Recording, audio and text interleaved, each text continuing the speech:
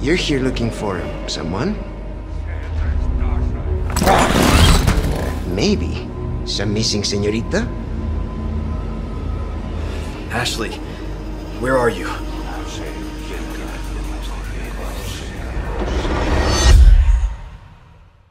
السلام عليكم ورحمة الله وبركاته إزيكم يا جماعة أخباركم إيه واهلا بيكم في فيديو جديد معاكم علاء من قناة جيمنج ارت بعد ما جربنا ال demo الخاص بلعبة Resident Evil 4 Remake أنا جاي النهاردة أقول لكم إذا كانت اللعبة دي مناسبة ليكم ولا لأ في حلقة جديدة من قبل ما تشتريها اعرفها. وقبل ما نبدأ ما تنسوش تعملوا like و share و subscribe للقناة وتفعلوا الجرس عشان يوصل لكم كل جديد. وتتابعوني على صفحاتي في ال social media وما تخلوش الألعاب تلهيكم عن الصلاة وذكر الله ورسوله خصوصا إن إحنا داخلين على رمضان كل سنة وأنتم طيبين وأهم حاجة طبعا الصوم. ويعني العبادات أهم حاجة يا جماعة وما نرغيش كتير ونقول يلا بينا. الفيديو هنتكلم عن كل التفاصيل الخاصة باللعبة وإيه الجديد فيها ويا ترى هتكون قد التوقعات ده اللي هنعرفه في الفيديو ده. وتعرفوا إذا كانت تناسبكم ولا لأ قبل ما تشتروها. اللعبة في تطويرها كان أمر صعب جدا خصوصا إنه كان نقلة في السلسلة الأصلية. من حيث ال gameplay والمطورين كانوا واخدين بالهم كويس جدا من النقطة دي. ومن القصة كمان. فإحنا هنشوف اللعبة مطورة وواقعية جدا ومظهر أكتر قوة. وده زي ما أنتم شايفين.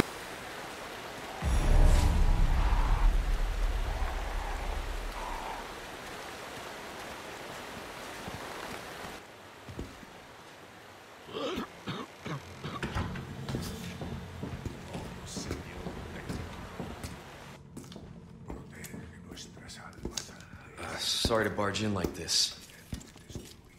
Uh, excuse me. Sir? Busco a un policía. Vino aquí?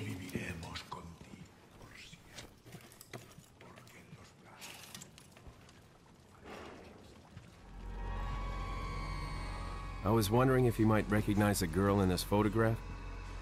¿Qué carajo estás haciendo aquí? ¡Lárgate, cabrón! Sorry to have bothered you.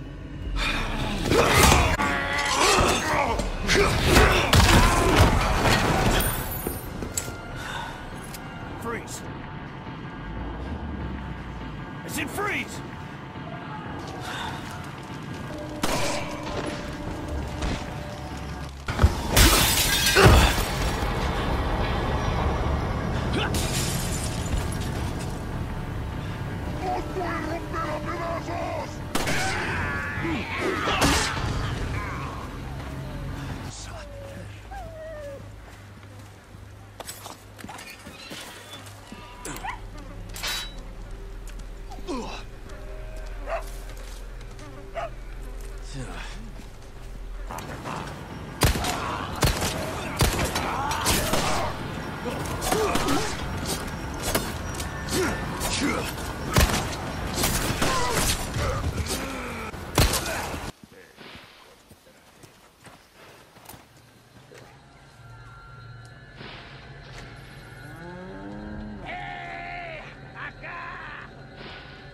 ¡Mierda!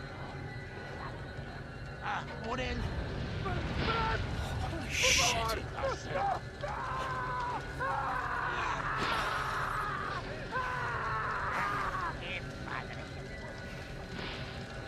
¡Ah, por él!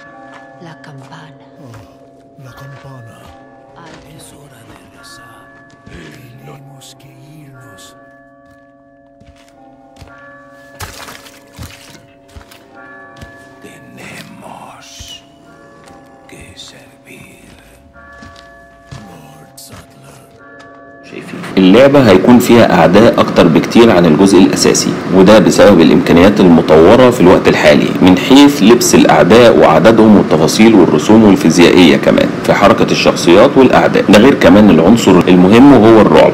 بقى أكبر وده بسبب الإضاءة أو ظلمة ال- ال- ال- ال- البيئة الخاصة باللعبة يعني بشكل عام.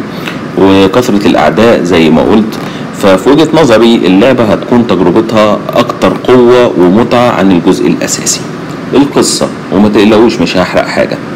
الإخراج بقى أفضل ومحسنة ومدة اللعب تقريبا من 15 إلى 20 ساعة زي الجزء الأساسي. غير أداء الشخصيات بقى أفضل من حيث الحوارات والمشاهد وده هيخلي اللاعبين يتأثروا بالأحداث بشكل أكبر والحماس كمان. والمهمة جدا ودي من وجهة نظري برضو وهي شخصية أشلي. أيوة هي البت دي. سيبكوا بقى منها خالص وخلونا بقى في الشخصية الجديدة منها. بقى ليها لازمة ولاحظنا إن في إعلان اللعبة إنها بقت قابلة للعب في مراحل ما في اللعبة.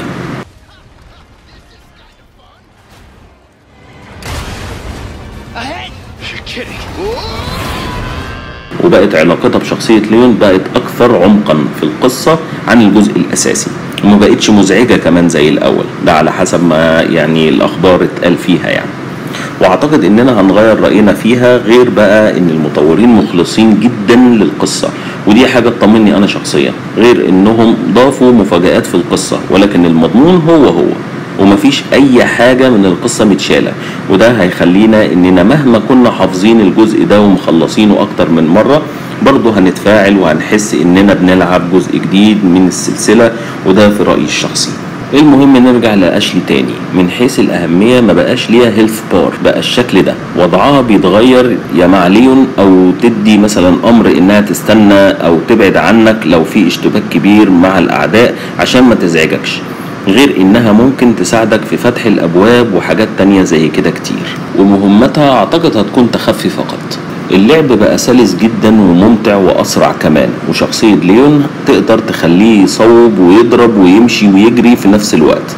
مش لازم يقف زي الجزء اللي فات أو الجزء الأساسي يعني وتخليه يغير موضعه وبعد كده تبدأ تجري وبعد كده تقف بعيد وبعد كده تصوب وبعد كده مثلا تجيب سكينة. لا كله متاح في نفس اللحظة. ده غير كمان إنه يقدر يتفادى الضربات ويصدها كمان وده بيتناسب مع كمية الأعداء اللي قلنا عليها. ده غير التبديل بين الأسلحة نقدر يعني نبدل بينهم زي ما قلت وإحنا بنلعب عادي. مش لازم نخش في القايمة أو شنطة الأدوات أو الأسلحة ونبدل وده مهم جدا عشان ما يفصلش الحماس عن اللاعبين. ودي حاجة حلوة بصراحة. والحوارات اللاسلكية ما بقاش ليها كاتسين خاص بيها لأ. وأنت بتلعب بيظهر في الشاشة والحوار يبان قدامك وأنت بتلعب. يعني نفس الشيء بيحاولوا ما يفصلوش اللاعبين عن اللعب. ودي حاجة حلوة برضه. التاجر التعامل معاه في اختيار الأسلحة بقى أفضل وأسرع. ونسيت برضه أقول حاجة تخص شخصية ليون. يقدر يخش في وضع التخفي ويتخلص من الأعداء بسهولة. وده ما كانش موجود في الجزء الأساسي على فكرة. ونصيحتي من دلوقتي لازم تطور السكينة. السكينة الخاصة بليون دي لازم تطورها.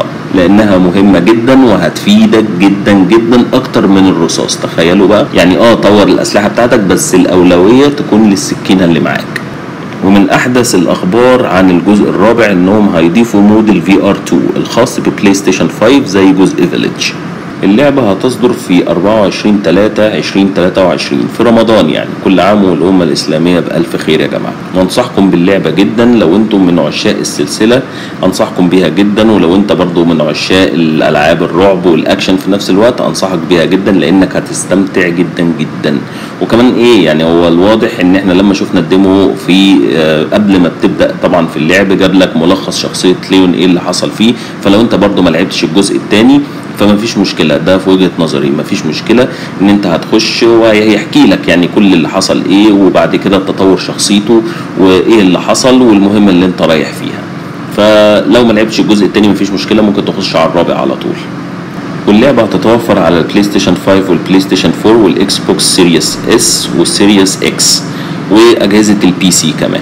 وبس يا جماعة دي كانت كل الأخبار ويعني كل التفاصيل الخاصة بلعبة Resident Evil 4 Remake فيا رب أكون قدرت إن أنا أوفي بكل المعلومات الخاصة باللعبة وقدرت يعني إن أنا أوضح لكم لو كانت اللعبة دي مناسبة ليكم ولا لأ. المهم لو أنت ناوي تشتريها أديك عرفت كل التفاصيل وكل الأخبار عنها. يا رب الفيديو يكون عجبكم وقبل ما في ما تنسوش تعملوا like و share و subscribe للقناة وتفعلوا الجرس عشان يوصل لكم كل جديد. وتتابعوني على صفحاتي في ال social media وبسيب لكم كل اللينكات موجودة في ال description تحت. والدنيا بتقع يا جماعة عايزين يعني آه، نتطور بقى شوية عايزين نطور القناة والقناة عشان تتطور هتتطور بيكم أنتم يا جماعة. وكان معاكم علاء من قناة Gaming Art شكرا لكم على المشاهدة. سلام عليكم. It has to be different.